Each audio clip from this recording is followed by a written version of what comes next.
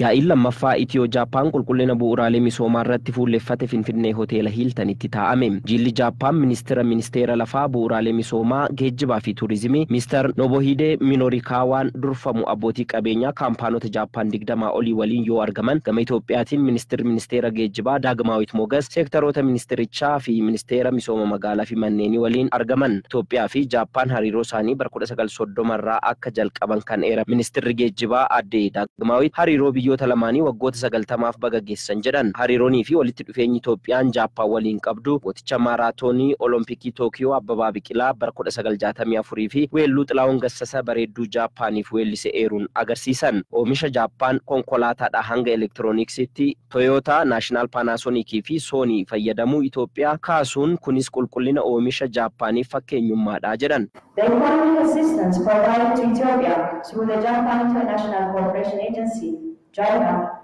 Deeggarsa diinagdee Itoophiyaaf ejensiin walgargaarsa diinagdee Jaappaan jaayikaa fi miti mootummaa Jaappaaniin godhamaa ture. Barnoota qonna misooma baadiyyaa guddina indastirii bu'uuraalee misoomaa qulqullina qabuuf itti fufiinsaa guddina diinagdee kan deeggaru. Bu'uuraalee misoomaa misoomsuu keessatti dandeettii bulchiinsaaf misooma daandiin Jaappaan Itoophiyaa ciminaan deeggarte. Jaappaan teeknooloojii qabduun geejjiba bu'uuraalee misooma magaalaa humna ibsaa dhiyeessii bishaaniin cimina guddaa qabaachuus ministirittiin kaasan. Daandii biyyattiin qabdu kiloomeetira kuma dhibba tokkoo fi kuma soddomii torba keessaa waggoota digdama dura kuma soddoma hin caaluu jedhan. Itoophiyaan daandii baaburaa kiloomeetira dhibba jaha fi shantamii jaha qabdu waggoottan kurnan dhufutti gara kiloomeetira kuma afuriitti guddisuuf karoorsu siman. Yaa'ii jalqabaa Itiyoo Jaappaan adoolessa bara kuma lamaa fi kudha shan gaggeeffamu yaadachiisuun yeroo ammaa kaampaanota dhibba tokkoo fi torbaatamii sagal of jalatti qabatee Afrikaa keessatti misoomsaa jiraachuu kan himan ministeerri ministeera lafaa bu'uuraalee misoomaa geejjibaaf tuurizimii Jaappaan Mister Nobuhide Minorikawa guddina saffisaa Itoophiyaan ammarra jirtu fiixaan baasuuf waliin hojjechuun murteessaa ta'uu himan.